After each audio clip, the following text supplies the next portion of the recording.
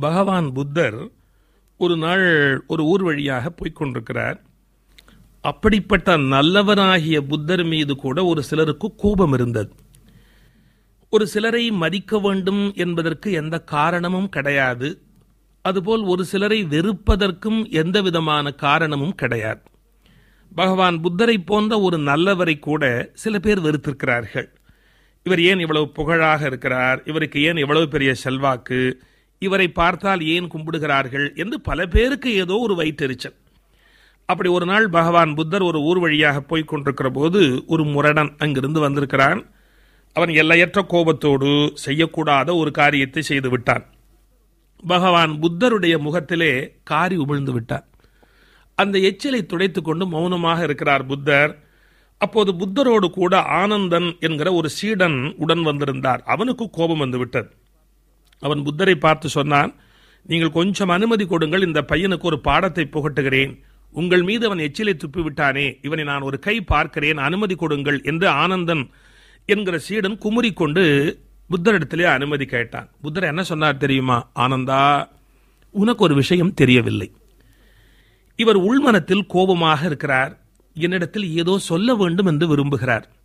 ஆனால் அவருக்கு சொல்ல தெரியவில்லை. அவர் மனதில் என்ன எண்ணங்கள் இருக்கிறதோ அதை வார்த்தையாலே சொல்லக்கூடிய திறமை அவருக்கு இருந்திருந்தால் சொல்லியிருப்பார்.